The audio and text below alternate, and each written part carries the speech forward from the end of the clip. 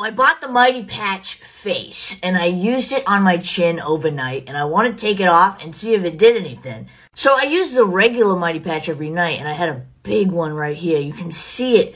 It just like sucks it all up and it, it makes it completely flat. It's really good.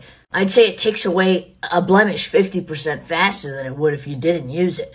My chin is so problematic. My pores get really clogged in my chin and I get breakouts here really easily. So I figured I would try this patch to see if I could, you know, get some of that shit out. So let's pull it off.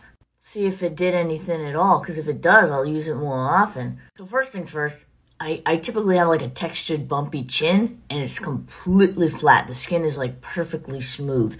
The patch is completely covered in oil and gunk and just nasty shit. I like this a lot. I mean, like, it prevents me from picking my face, which is a big issue for me. I like this a lot. I mean, like, it prevents me from picking my face, which is a big issue for me.